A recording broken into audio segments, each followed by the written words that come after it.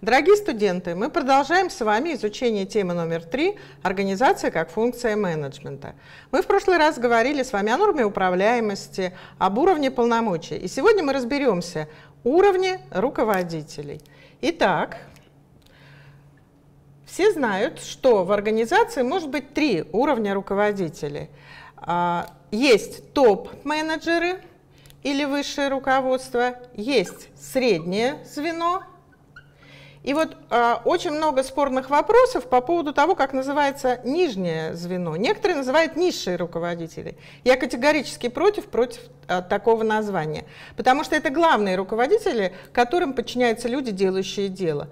Правильно это называется линейные, линейные руководители или руководители низового звена. Дальше, что а, нужно знать об этих людях? Эти люди решают абсолютно разные задачи. Линейный руководитель решает оперативные задачи. Руководители среднего звена решают задачи координации деятельности низового и верхнего звена. Руководители верхнего уровня решают стратегические задачи.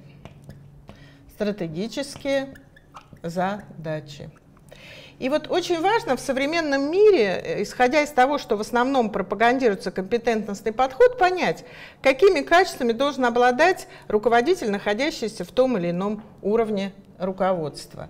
И вот здесь очень важно вспомнить один из принципов, который называется принцип Паретта 80 на 20. Когда мы говорим о том, что руководитель линейного звена, он кем должен быть? Он должен быть профессионалом или управленцем? И вот здесь вступает в силу это золотое сечение.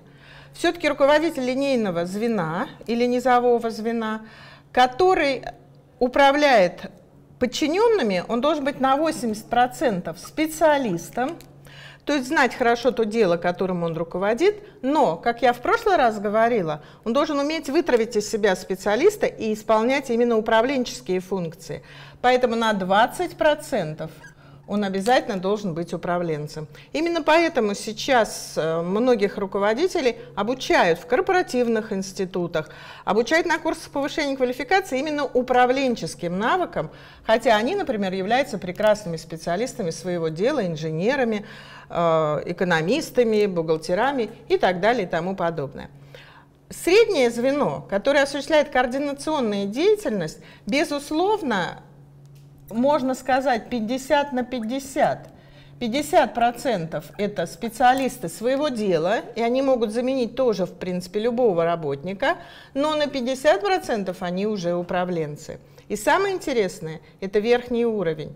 Руководитель, когда мы пошли в рыночную экономику, мы попытались откинуть некие законы и неправильно, наверное, прочитали зарубежный менеджмент и говорили, главное, что он менеджер, что он управленец, и неважно, на какое предприятие его ставить. Кто он?